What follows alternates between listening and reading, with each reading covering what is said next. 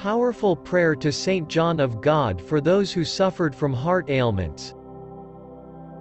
Dearest St. John of God, I come before you on behalf of those suffering from diseases of the heart, especially.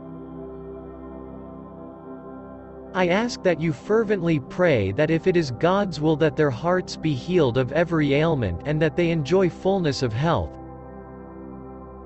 If it is not, please pray that they have the grace and strength to bear their sickness with patience and dignity and ask God to bless them with caretakers who are wise and who can alleviate their suffering.